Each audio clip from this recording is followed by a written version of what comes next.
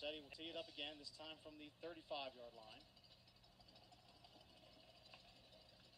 And this one's going to kick deep. It's going to go over the head of Terrence Thomas. And look at that. It's going to be a touchback back to the 20 yard line. So Wetumpka's going to lose 15 yards of field position in that exchange. So such an effective weapon. When you have a kicker, we say this every week here on the Montgomery Sports Network. We see some teams that have kickers, some teams that don't have very good kickers. But to be able to put that ball in the end zone and make your opponent go 80 yards every time is just such an effective weapon. We see Montgomery Catholic do that a few weeks ago. Um, it's, it's, just something Prattville has it, you know, and obviously Stanhope Elmore has it. And you don't see it a lot in high school football. It's hard to find.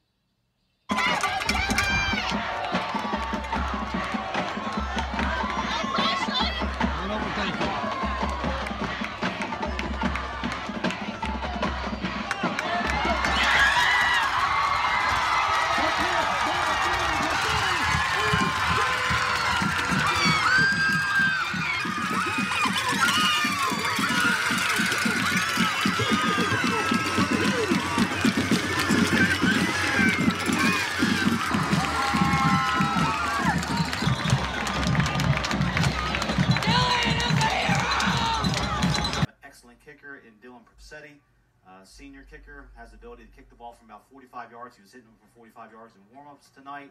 Had a 41-yarder a few weeks ago. Uh, won the game against Smiths Station on the last play of the game on a field goal to walk it off, win it for the Mustangs on their.